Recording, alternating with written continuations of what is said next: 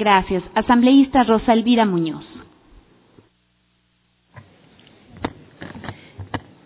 Eh, compañera presidenta, compañeros, compañeras, la tarde de hoy es importante topar esta ley que realmente cuando discutíamos la enmienda constitucional y donde decíamos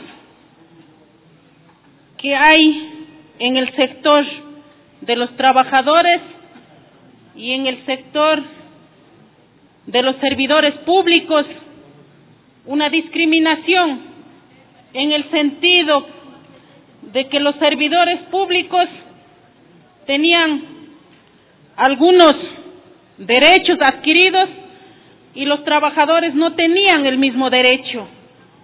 En base a eso, cuando decíamos que debe unificarse y también el sector laboral debe prepararse profesionalmente y que para eso debemos garantizar una ley adecuada, oportuna, para que estos dos sectores tengan la misma posibilidad y el mismo derecho. Creo que en ese sentido la tarde de hoy y sobre todo felicitar a la Comisión de los Trabajadores, esperemos que esta ley sea realmente incluyente para nuestros compañeros y compañeras, tanto del sector laboral como también para el sector de los empleados públicos.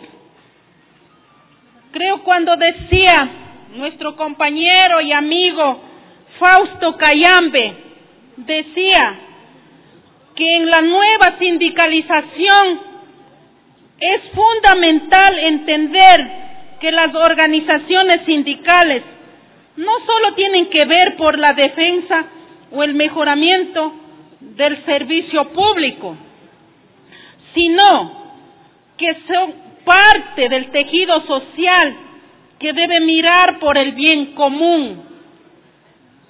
Esta nueva organización tiene que garantizar las condiciones de trabajo, la reivindicación de la carrera profesional de los servidores públicos, así como de las condiciones políticas y económicas al ser parte de un Estado.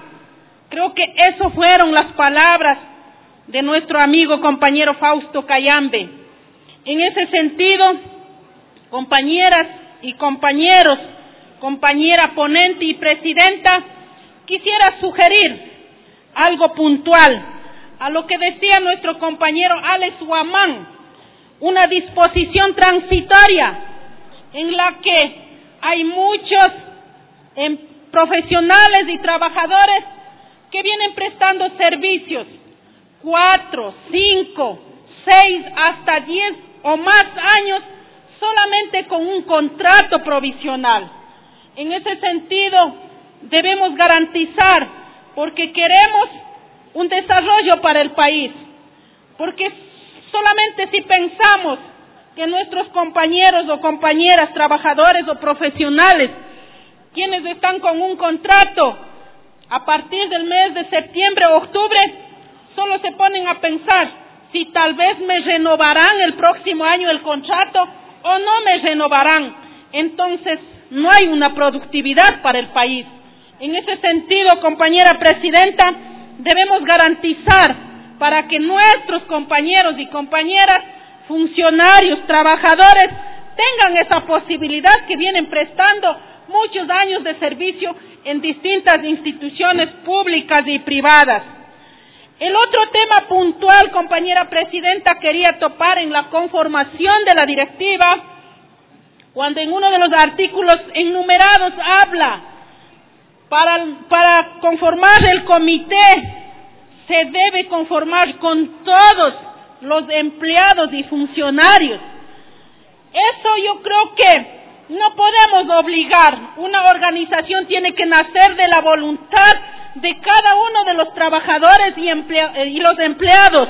No podemos decir que una directiva se puede conformar con todos los trabajadores.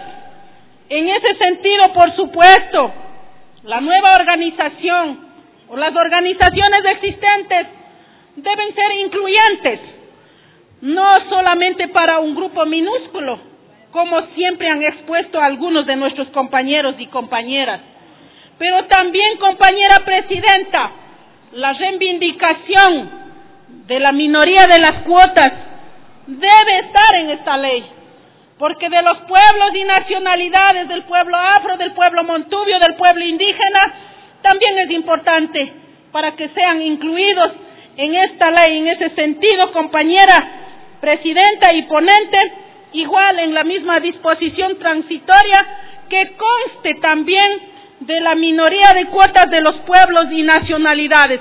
En ese sentido, estaríamos garantizando una ley equitativa, una ley incluyente, y para que no solamente se favorezca a uno o a otro sector. Muchas gracias, compañera presidenta.